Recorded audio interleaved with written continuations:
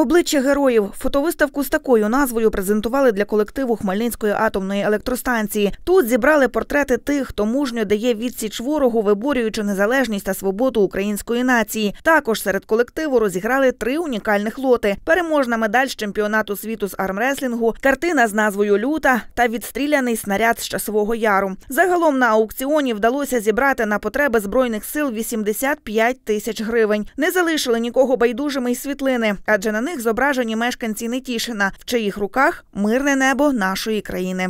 Напередодні Дня Збройних сил України е, ця виставка дуже важлива. Ми хочемо показати, що ми про них думаємо, дбаємо про них, е, допомагаємо чим можемо. От, і хочемо показати цих наших героїв, які е, приймають, служать в Збройних силах України.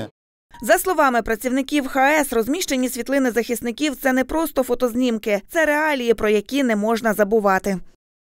Всім потрібно про це показувати, всім потрібно про це нагадувати, е, щоб всі пам'ятали і знали, що хлопцям там дуже нелегко, вони нас боронять, вони нас захищають. Якщо б не вони, то можливо б навіть і ми до тебе не працювали б і не були б.